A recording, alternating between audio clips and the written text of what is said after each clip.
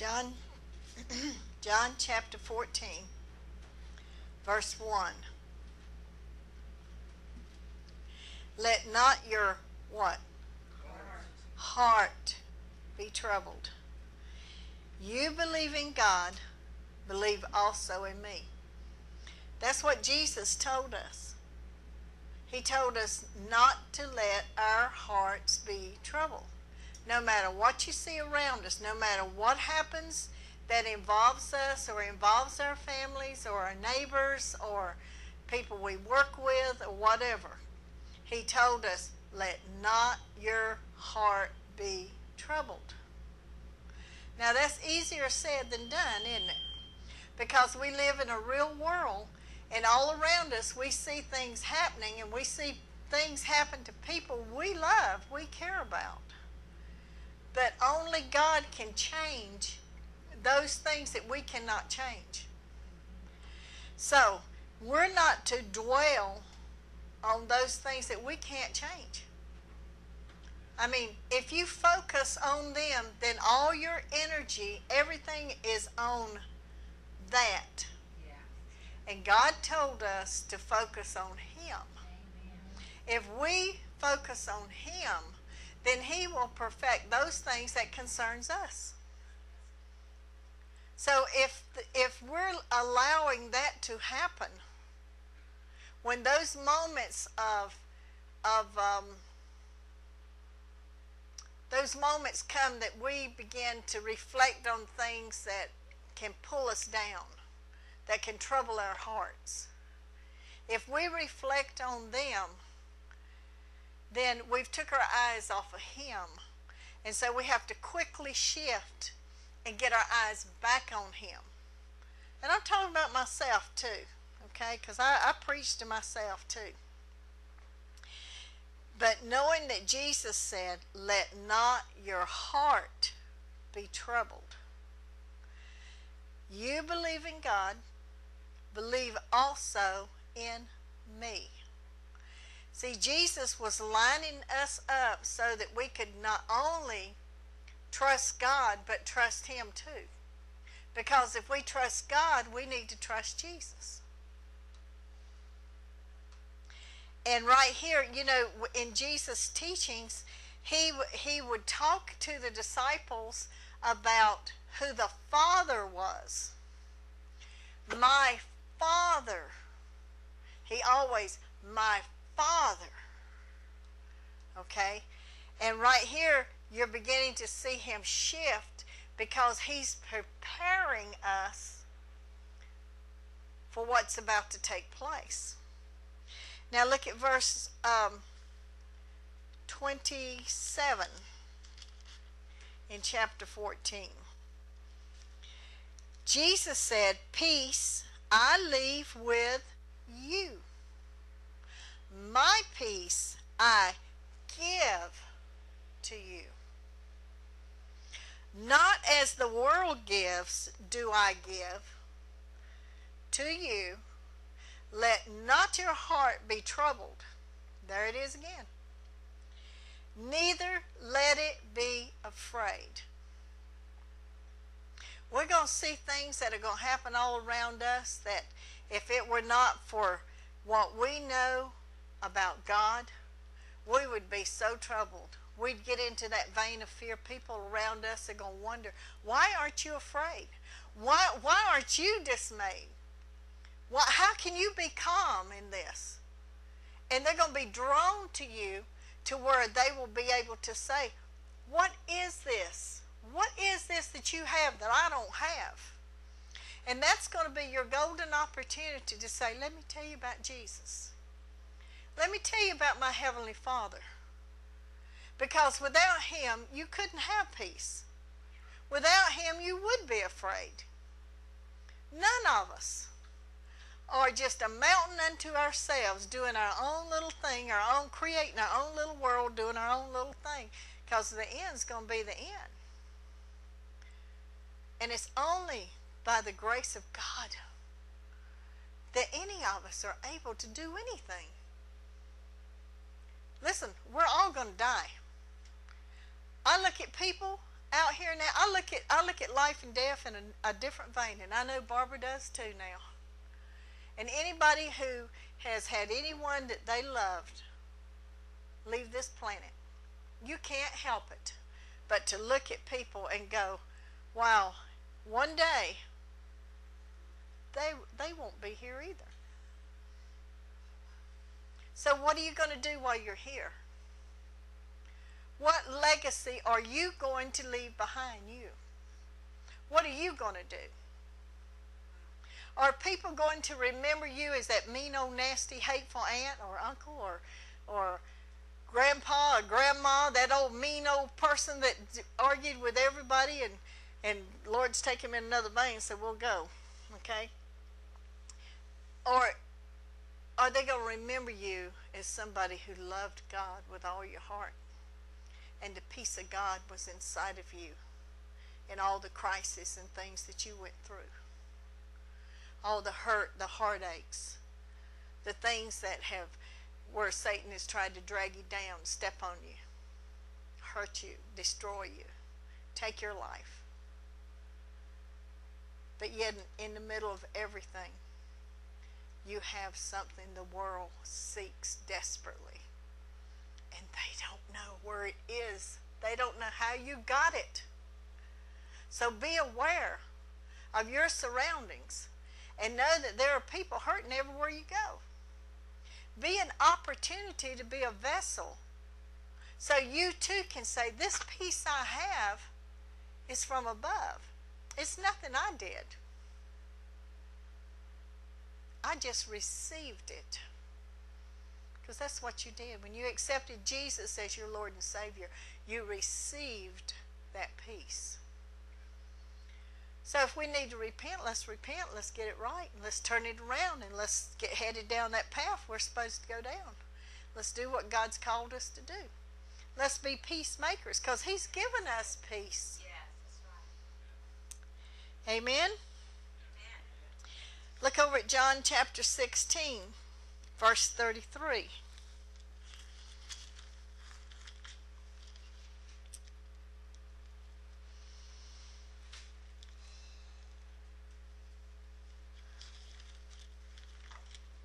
Verse 33, Jesus again talking. These things I have spoken to you. Look at this. That in me, in Jesus, you may have peace. In the world you will you will have tribulation. But be of good cheer, I have overcome the world. He hadn't even gone to the cross yet. But he already spoke it, didn't he? He spoke what was about to happen.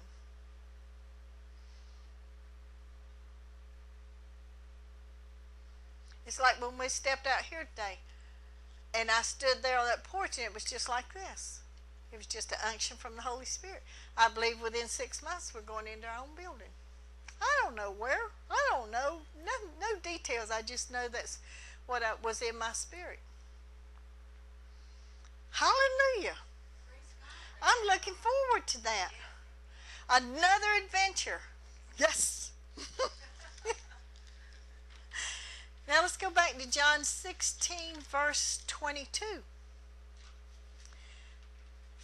Therefore, you now have sorrow, but I will see you again, and your heart will rejoice, and your joy no one will take from you. Still Jesus talking. What an awesome encouragement that is. To know that nobody can take your joy. You can give it to them if you want to. You know, sometimes being Christians and being spirit filled, sometimes when we get tired, I find it comes for me, it comes when I get tired. If I'm tired and I'm a little bit too busy, we all get busy, busy, busy, busy. I get too busy and I'm tired. And out of my flesh I will hear my voice speak things that shouldn't be spoken. Well, I have to stop and repent. Because that is my peace that I am allowing Satan to take from me. So if I need rest, I'm going to rest. Be good to yourself. Be good to your body. You need rest. You can't do everything. I finally got it through my head. I can't do everything. I mean, I could, but that's not what God wants me to do.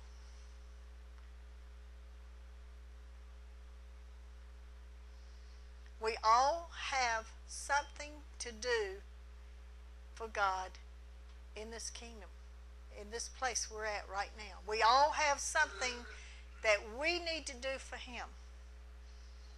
It may be a smile, it may be one sentence of encouragement. There is something everybody can do so that people can see Jesus in you. Therefore, you now have sorrow, but I will see you again. And your heart will rejoice, and your joy no one will take from you. And in that day you will ask me nothing. Most assuredly, I say to you, whatever you ask the Father in my name, my name. You see the shift? See, he's showing how he and the Father are really one. He's showing us the shift. I say to you, whatever you ask the Father in my name, he will give you. He, the Father, will give you. So when you pray, you pray, praying is asking, it's talking, it's verbally expression. And you're talking to the Father, you're asking Him to help you or whatever is on your heart. You're asking and you ask according to His Word in Jesus' name. The Father, Jesus, said it. The Father will give it to us. Sometimes we let troubles and trials and tribulations get to us that we put that over here. Instead of saying, your words, I like to remind God of your word, of his word. I'll tell him, your word says right here that if I ask in Jesus' name, Father God, Daddy, Daddy God, that you will give that to me.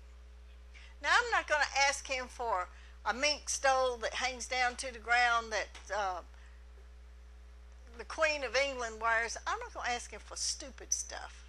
I don't care less about that.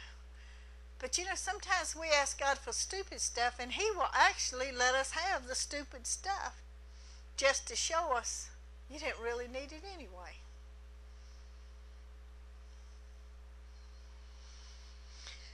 Verse 24 Until now, you have asked nothing in my name.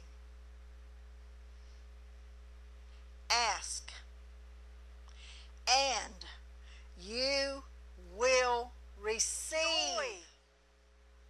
May be full. And another place in the Bible talks about when you ask, ask believing so you can receive.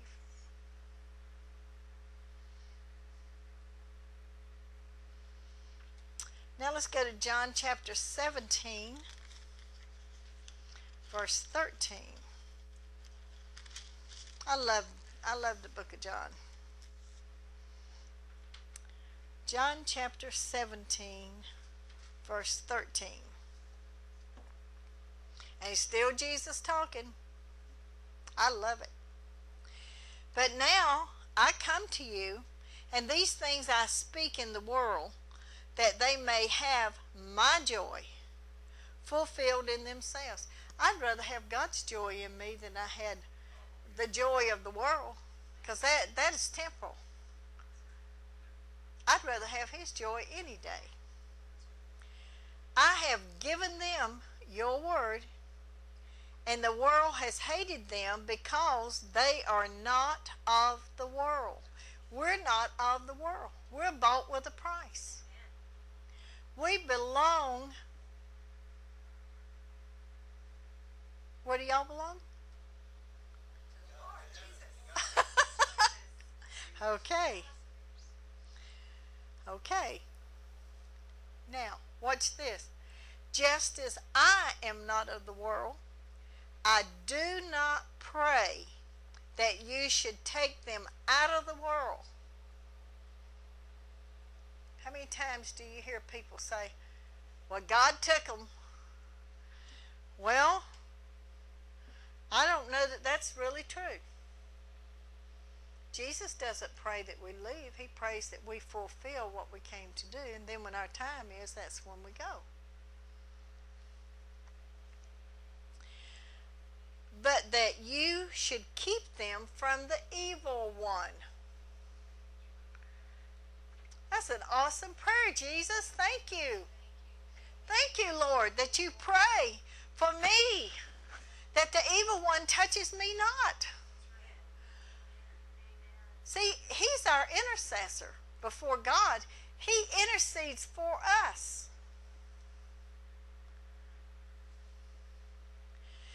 They are not of the world, just as I am not of the world. That is awesome. That is incredible. All this, you know, all this ET and all this science fiction. I like science fiction. I really do. I always have.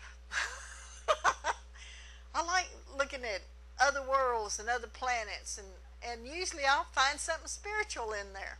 I'll pick out something from all the garbage that's there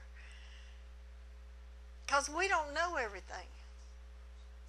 And I think about those writers and and uh, and the actors. The actors get into the role playing, but the writers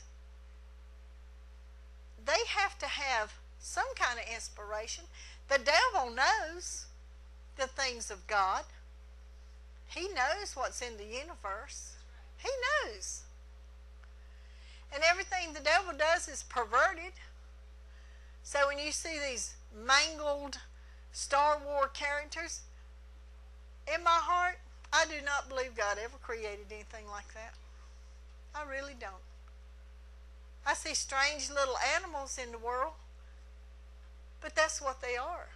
They're not, as we look as having a spirit inside of them, like we do.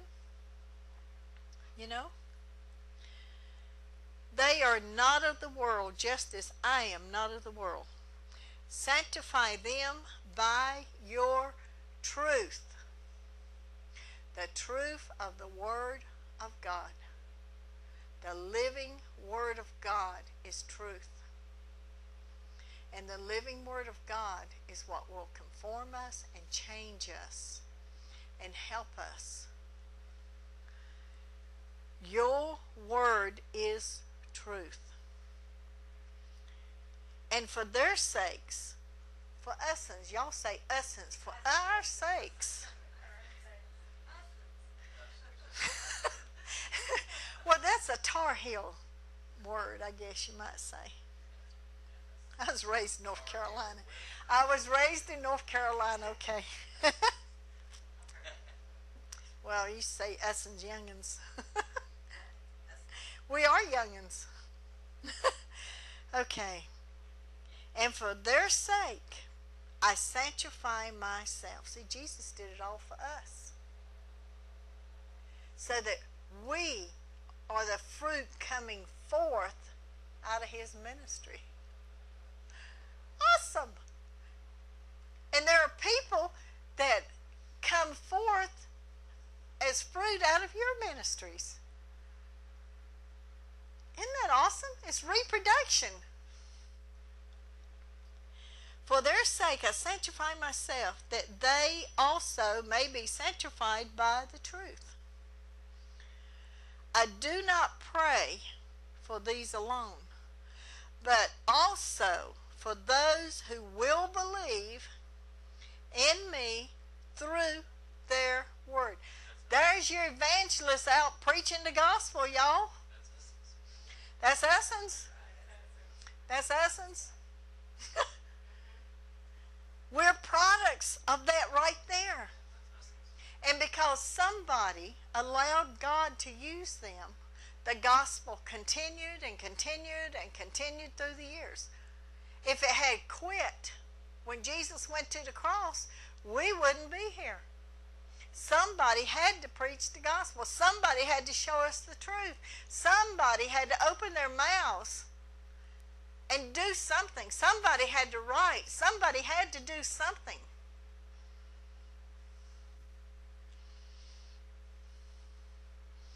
And it says, through their word. So that tells me talking. See, you never know who you're talking to. You never know what they're going through. Just like last Sunday when that, that girl was here. And she just spoke up and she said, Well, I'm brokenhearted. Her heart was broke. But she came. And she had trouble getting here, but she found us. She even said she didn't know how she found us because she got on the wrong roads. But see, God wanted her here where she could be loved on, where she could the word could be spoken to her, where she could be ministered to, loved on. That's how much God loves us. That's how much He loves the people around us.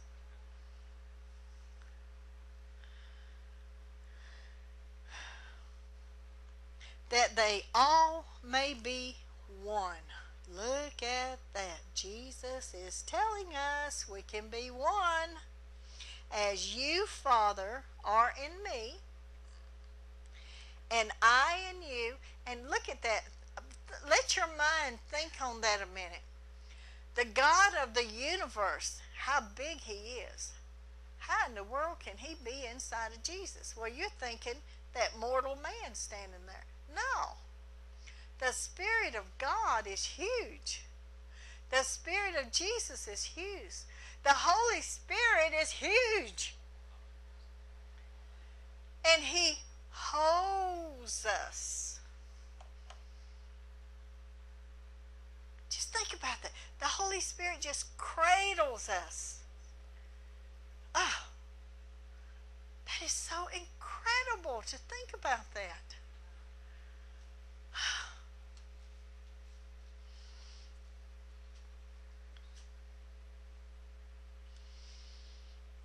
that they also may be one in us. Father, Son, Holy Ghost, and essence.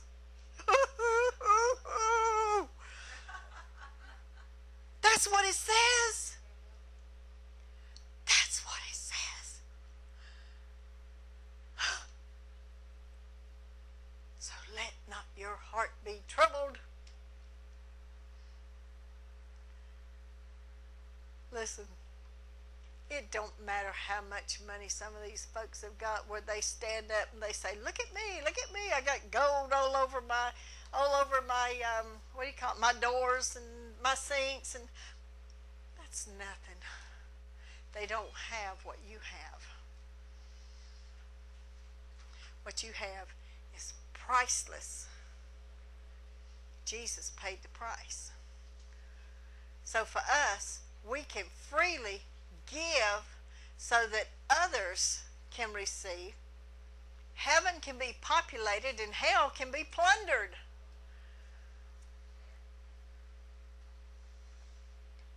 That in the world, that the world may believe that you sent me. And the glory, the glory which you gave me. That glory is the presence of God. Oh, it is so wonderful when He just taps you on the shoulder, puts His arms around you, and you just you just want to cry and you don't know why you're crying. You're just crying. It's because that presence is so sweet. That glory of God. The world doesn't understand it. They don't experience it. But you do. You have the answer that man and the world is looking for. You have it.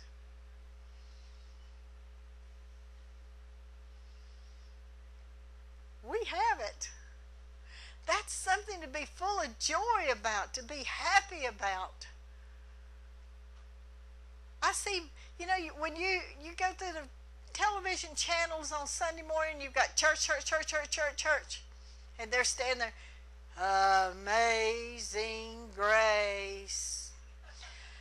How sweet the sound. And then you go, Amazing grace. How sweet the sound. Oh, so different. They just don't know.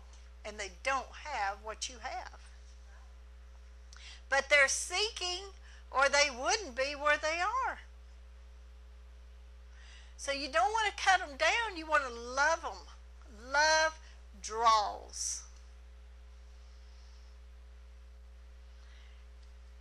And it's the love of God in you that draws them.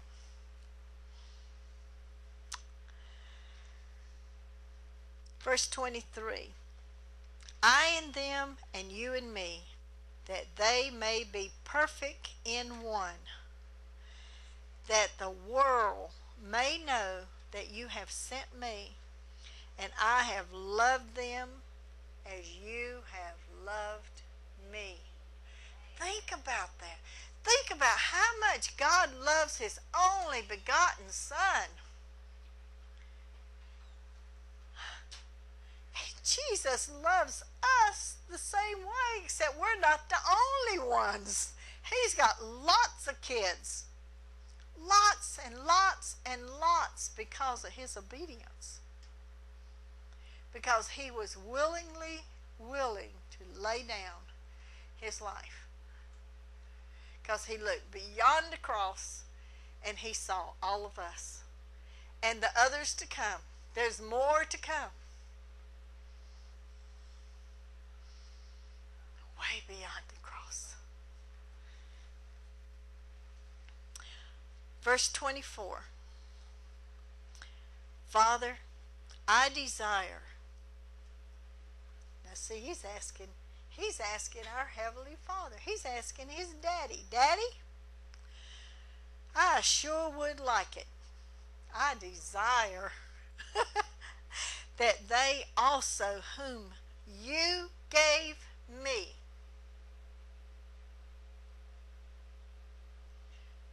we are those people who God gave his son. We are given to Jesus. You gave me may be with me where I am, that they may behold my glory which you have given me. For you loved me before the foundation of the world. O righteous Father, the world has not known you, but I have known you. That's a father son relationship.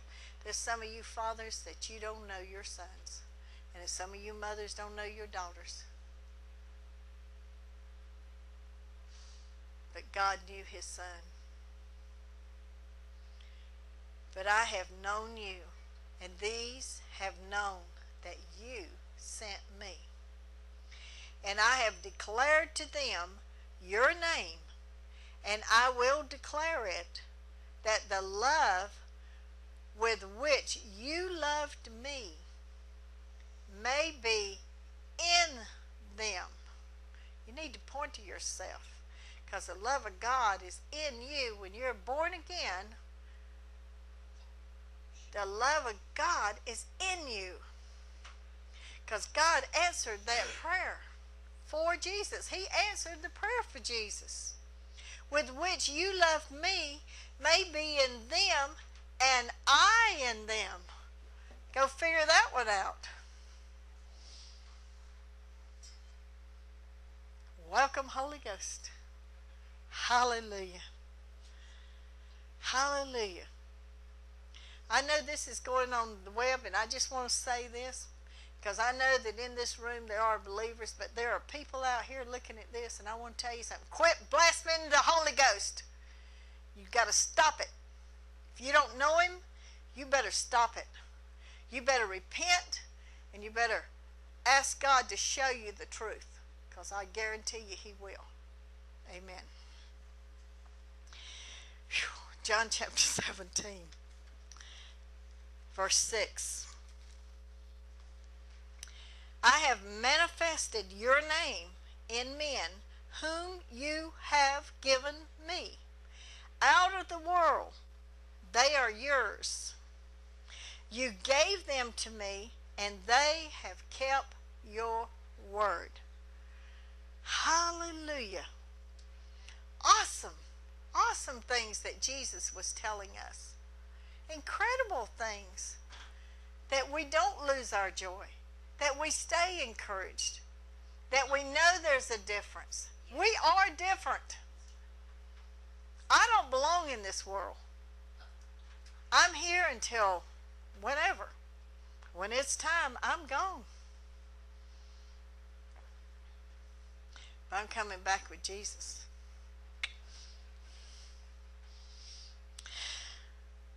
That's what the word says, that he's coming back. He's coming back with who? The saints, the ones that have gone on. He's coming back with them. Let's go to Acts chapter 1. See, Jesus, knowing that with him being gone, how quickly the wolves would come in and try to steal the teachings and the things that he had taught the disciples and the other people. Remember, he taught multitudes of people. He didn't teach just the 12. He taught multitudes of people. So the word of God went out. And people found out that, hey, this is different than what I've, the rabbis have been teaching me and the teachers and and these others, the Pharisees and Sadducees, I'm hearing different things. But inside of me, I like this because it's reality, it's truth. Truth has a way of, of, of permeating your spirit to the point to where you realize that this is truth. I know this is truth. I don't understand it, but I know it's truth. And that's what Jesus was doing. He was demonstrating the love of Almighty God. He was demonstrating that there is life to come. There is more to come. You don't just live and die and that's it, it's over. There is more. But he also knew we had to have some help because of who we are. Had I not been baptized with the Holy Ghost, I don't think I'd be standing here today. I struggled going to church for years. I struggled in and out of the Methodist church, the Baptist church, Church of Christ, Unity, just looking, looking, searching. And what I needed was the baptism of the Holy Ghost. I needed the helper in my life to help me. Without him, I couldn't make it. And Jesus knew we needed that. He tells us in John chapter 14 that he would pray the Father and he would ask and he would send the helper, which is the Holy Ghost, and the Holy Ghost would teach us all truth. When truth is come, we change. Our human spirit is set for change and for truth. And when truth comes, we embrace it because we're hungry for truth. Jesus said, I am the way, I'm the truth, and I'm the life.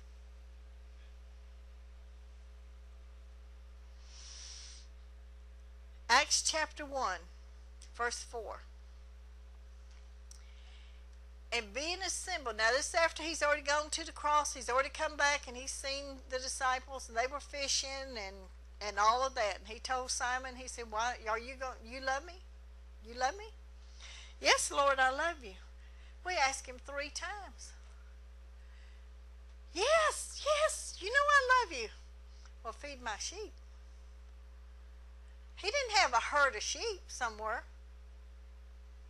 He had people that needed to have a continuous diet of the Word of God. And how was Peter going to give it? There wasn't no Bibles written. How was he going to feed them the things of God? With what little bit, little bit of time? Three and a half years he's with uh, Jesus. He was supposed to be able to feed a flock of, of human beings that always got questions? The Holy Spirit is our teacher. And the Holy Spirit will teach you things, mysteries, and things that you don't know, things you don't understand.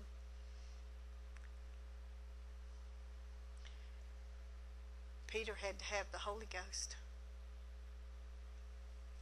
They all had to have it to be effective.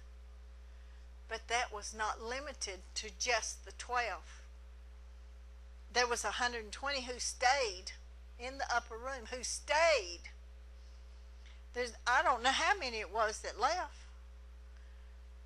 How many got tired and said, Terry, and I'm tired. I'm going home. Jesus died on the cross. That's it.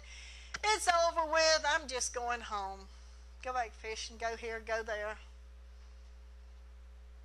But you had a faithful few that stayed. And that faithful few were filled with the Holy Spirit. The teacher came to help them so they could teach others. This Bible was written inspiration of the Holy Spirit.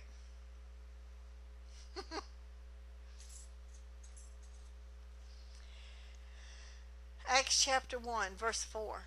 And being assembled together with them, he commanded them not to depart from Jerusalem, but to wait for the promise of the Father, which he said, You have heard from me. For John truly baptized with water, but you shall be baptized with the Holy Spirit not many days from now. Therefore, when they had come together, they asked him, saying, Lord, will you at this time restore the kingdom to Israel? And he said to them, It's not for you to know the times or seasons. Right now, you've got people saying, Oh, yeah, 2012. Oh, yeah, oh, yeah. Well, there were other years that they said, Oh, yeah, it was that year. Oh, yeah. You don't know. The Bible says you don't know. Only God knows the timing. You'll see the seasons and the signs, but you won't know the timing. He tells us to be ready. He tells us people will be marrying, they'll be having babies. They're not going to stop and say, okay, it's 2020. Okay, here I am, or 2012. Here I am. Beam me up. That's not going to happen. It's foolishness. And they err because they don't know the Word of God. They know God's coming. They know He's coming back. He is coming back. He is coming back.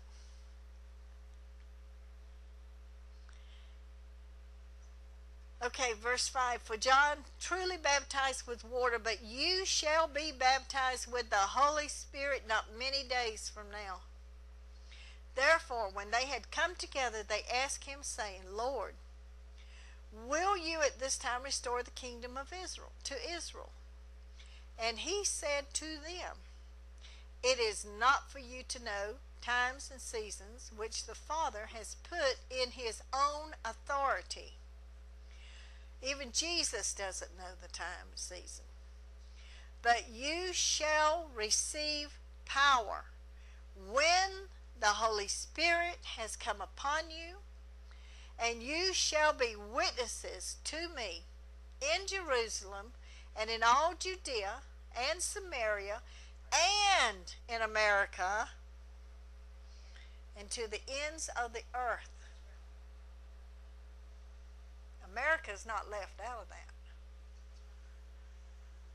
South America is not left out of it either.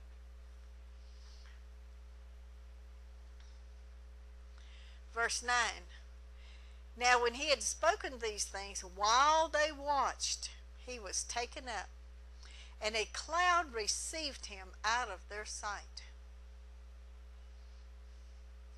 And while they looked steadfastly toward heaven, as he went up, behold, two men stood by them in white apparel, who also said, Men of Galilee, why do you stand gazing up to heaven?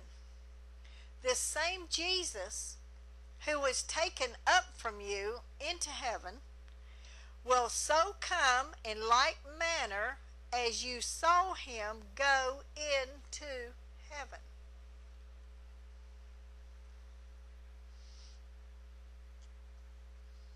It's going to come back the same way he went. You, Lord. Let's go over to Daniel chapter 7. Daniel chapter 7, verse 13.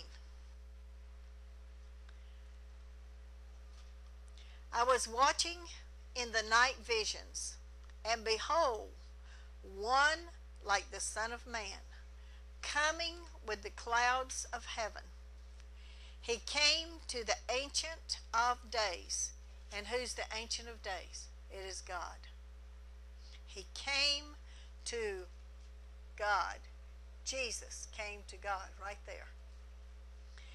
And they brought him near before him. Then to him was given dominion and glory and a kingdom. See, you, you can take those scriptures right there and you can meditate on them and meditate on them and ask the Holy Spirit to reveal to you those those words and things that are there. And I guarantee you you'll get some fresh revelation on the word. That all peoples we're in that all peoples, nations, and languages should serve him.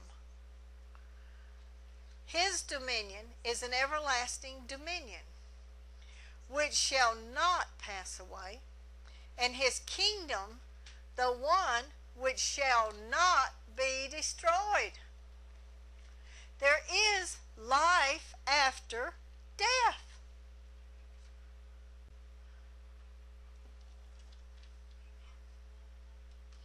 Go to Revelation chapter 1.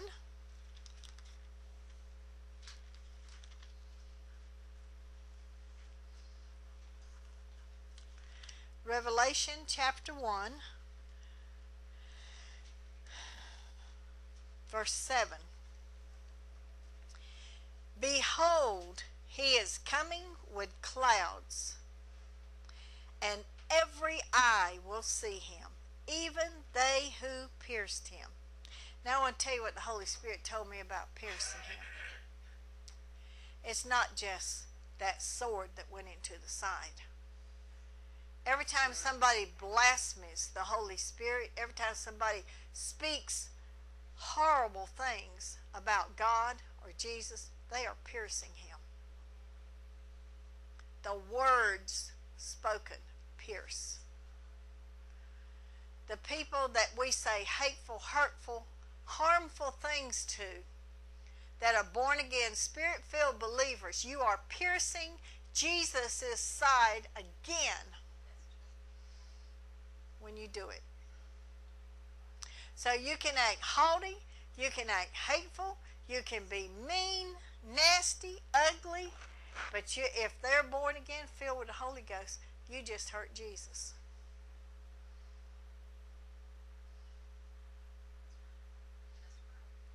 It's called repentance, y'all. It's called repentance. Be, be a quick repenter.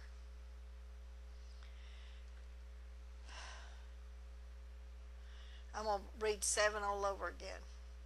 Behold, he is coming with clouds, and every eye will see him, even they who pierced him. And all the tribes of the earth will mourn him, will mourn because of him. Even so, amen. Jesus talking now, he says, I am the Alpha and the Omega, the beginning and the end. Says the Lord, who is and who was and who is to come, the Almighty. Let's go to Revelation 21.